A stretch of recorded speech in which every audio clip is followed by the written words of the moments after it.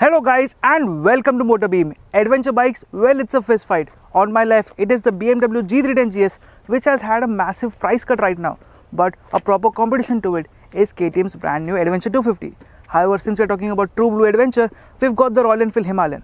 But since all these three bikes are entry level bikes, the entry level adventure is nothing else but the Hero Xpulse 200. So in today's video, let me tell you what is your adventure. Before we begin, subscribe to Motorbeam and don't forget to hit the bell icon.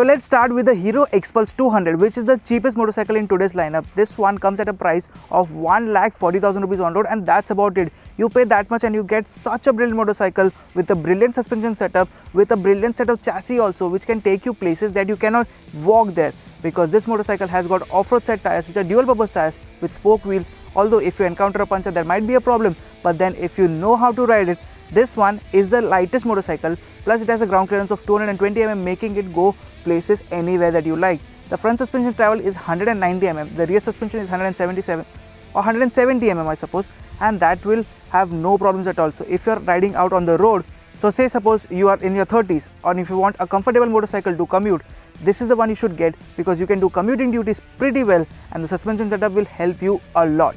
You do get an LED headlight but you don't get LED indicators. However, there is still a completely digital instrument cluster with Bluetooth connectivity so that you can get directions and a few more details to your phone as well. However, the 13 liter fuel tank is just about enough. This one is the most average giving motorcycle. Most average giving that is not the proper sentence.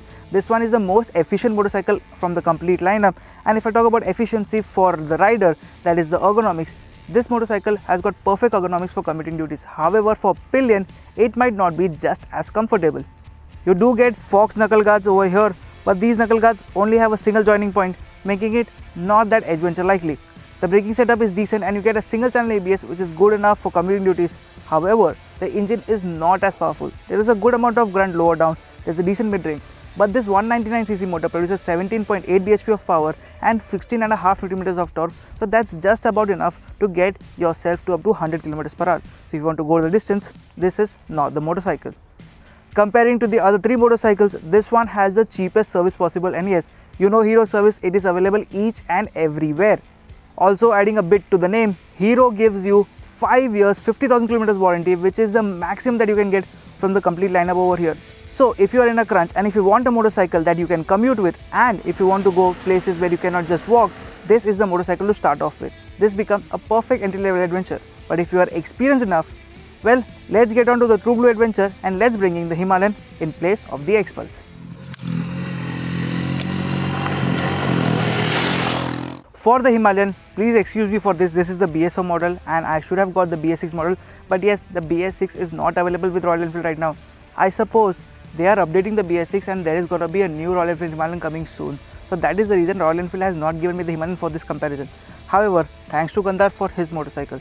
Since this is a reference, let me tell you what do you get over here and you get a strong, very good potent chassis which is good and ready for BS6. You get a very comfortable suspension setup which has the longest travel possible. You get the most accessible seat and this is the only motorcycle to get a 15 liter fuel tank. So yes, you can go the distance on this motorcycle. So if you want to go the distance, you cannot do that on those three that easily as you can do on this motorcycle. And for pillion as well, this is the most comfortable motorcycle to be on.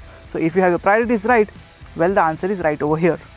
This one gets a 411cc motor which has the highest amount of torque in the complete lineup. However, this is still the heaviest motorcycle in the lineup again. For the BS6 variant, this motorcycle, the Himalayan, weighs over 199 kgs which is a lot. So if you can handle that weight and if you want to go off-road with a comfortable setup, well, you can go the distance too with the Himalayan.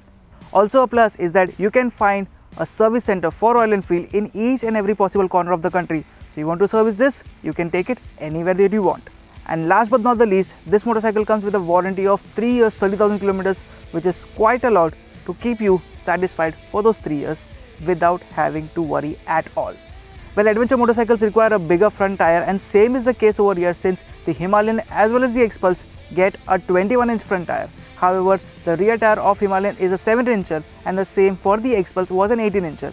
But then these motorcycles get a set of dual purpose tube tires which make it very easy to conquer off-road anywhere. However, if you want to go on-road, these tires do make some noise. The only thing that's LED on the Himalayan is the tail light. Everything else is halogen and this halogen headlight is probably the best halogen headlight you can get because this lights up the road pretty well. Out of all the motorcycles here, the Royal Enfield Himalayan also has the best exhaust note.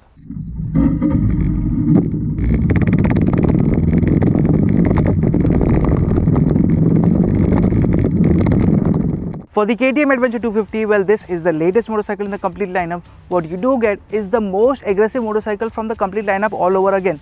Aggressive in terms of suspension setup, chassis setup, the seat height too. This is the tallest motorcycle which is at 855 mm. So if you're a shorty like me, say suppose 5 feet 6 inches or any shorter, this is not the motorcycle for you. But if you're any taller, you will be way more comfortable. This motorcycle defines the word fun because once you start pushing post 5000 rpm, this motorcycle just opens up but if I talk about the low end torque the 248cc motor which produces 30 PS of power and 24 Nm of torque does not have low end torque at all. You get a top end punch and that's about it. I suppose that's the case with all the KTMs and same is the case here. This motorcycle has adventure in its name but this is basically a street motorcycle with long travel suspension. So basically this is a long suspension Duke 250. This one gets a 14.5 litre fuel tank and it is a slightly bit more efficient than the Himalayan making it the best adventure tourer over here. Yes, you can tour on this motorcycle, you can go the distance, but if you want to go off-road, the tires, the alloys and the whole setup won't help you at all. The ergonomic triangle is completely upright and there's good enough space for the rider as well as the pillion. However, the seat setup is the hardest among all the three, making it the most uncomfortable motorcycle to be very honest. You get good set of tires from MRF though, named Meteor. This is a 100 section front tire and the rear is a 130 section tire. These are dual purpose tubeless rubber making it very easy if you encounter a puncture you can go the distance and get it fixed. KTM is known for its LED setup however you don't get that here. This and the Himalayan get a halogen headlight making it quite a lot good for foggy riding situations but everything else is just about average. You get the largest LCD meter of the lot on the Adventure 250 which has a plethora of information. However, you don't get Bluetooth connectivity or TFT display which is a bit more colorful like the 390 Adventure. Since everything is coming from the 390 Adventure over here to the 250 Adventure, you do get a charging socket which does come in handy when you go the distance. Talking about ground clearance too, well it won't matter as much but this one gets the lowest ground clearance of the complete lot. However, it is good enough to take on or tackle bad roads, heavy speed bumps or even big potholes too. The Adventure 250 also misses out on a complete metal bash plate, however you get a small piece which covers the exhaust. The other three motorcycles get a complete metal bash plate. However, I missed out on one point that the Himalayan right now cost about 2,40,000 rupees on road. This one is 50,000 more. And then if you consider the price of the Xpulse, this motorcycle is exactly double the price, not offering double the fun. Picking up a bit on practicality, Himalayan is the only motorcycle over here which gets main stand as standard. However, KTM is the only motorcycle which does not offer main stand at all. For the other two motorcycles, you can get an optional main stand. The BMW G310 GS, which is right next to me, costs 3,30,000 rupees on road Mumbai, which is almost a lakh cheaper than before, making it the most accessible GS motorcycle from BMW Motorrad. This motorcycle, however, because of the price cut, has lost a few things. And number one is the switchable ABS button.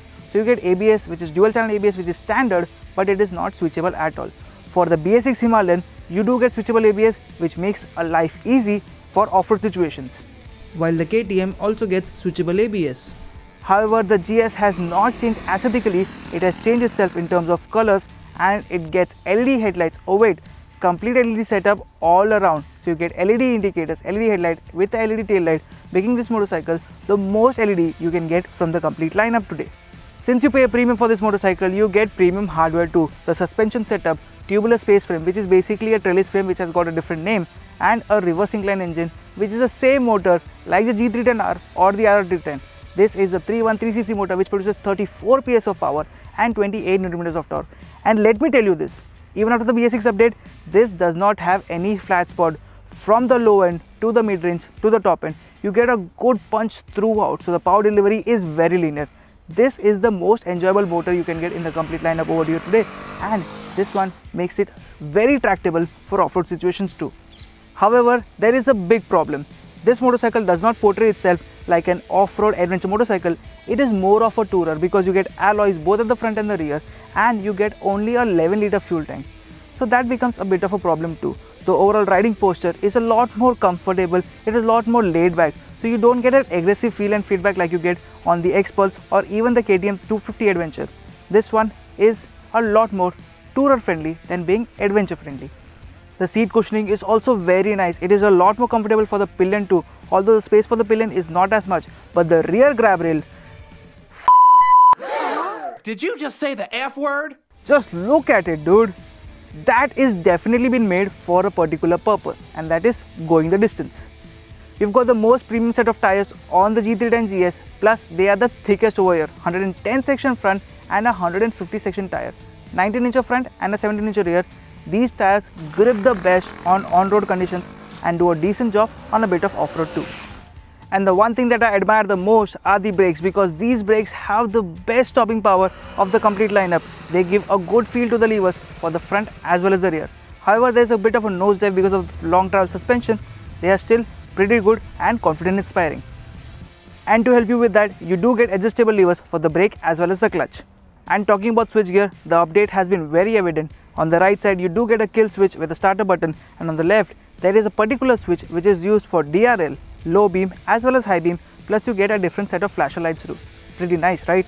However, these are mounted on a handlebar and the handlebar on the GS is the widest of the complete lineup over here, making it a little bit difficult for off-road tackling situations.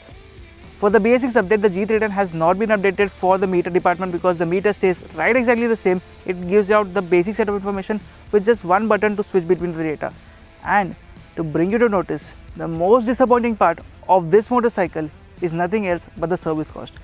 At the price of a complete year's service for the Himalayan or the X-Pulse, you will be able to service this motorcycle once. One. Well, the cost was one big issue, but the second big issue is gonna be finding a service center because BMW Motorrad service center are not as widespread in India as the other service center for all these three brands. So, if you want to get yourself a premium entry-level adventure motorcycle, you can definitely go for the BMW G310 GS only if you like the badge because this badge is gonna definitely turn a ton of heads.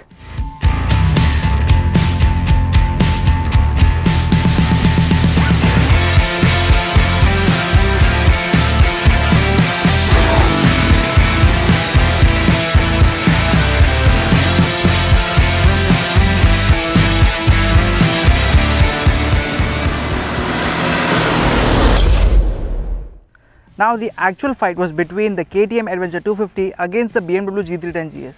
But these two motorcycles have become part of the puzzle because all these four are entry-level adventure motorcycles from their particular brand. If you want to get yourself a street motorcycle with long travel suspension, get yourself the Adventure 250 and you will be happy. If you're new to this, get yourself the X-Pulse 200 because this motorcycle will teach you a lot and you can commute pretty well too. If you want to go the distance and want comfort all along, the Himalayan is the one for you. But if you want to show off and you want to have that brand value, you want to show off that premiumness, get yourself the BMW and you will be definitely happy.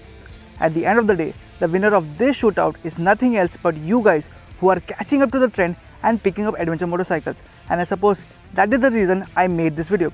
I hope you guys liked it. Thank you so much for watching. I'll see you guys in the next one. Bye bye.